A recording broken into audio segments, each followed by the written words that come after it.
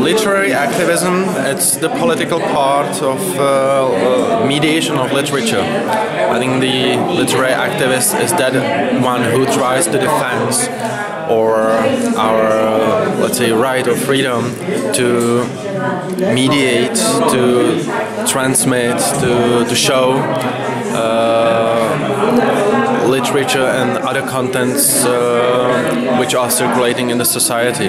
So that's uh, what the literary activist stands for.